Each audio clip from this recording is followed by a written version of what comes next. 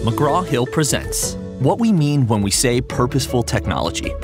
Technology in the classroom is nothing new, but as the potential of what technology can do is growing exponentially, there's a critical need to first understand and agree as to what technology means to the learning experience. Purposeful technology is not a device or a class. Rather, it's an understanding, a way of evaluating the intent, potential, and limitations of technology in the process of teaching and learning. Technology is purposeful when it is being used to help solve a problem or elevate learning, like evaluating comprehension or analyzing progress. It's not a replacement for a great teacher, but rather a means to help every teacher become even more effective and every student more actively engaged as learners.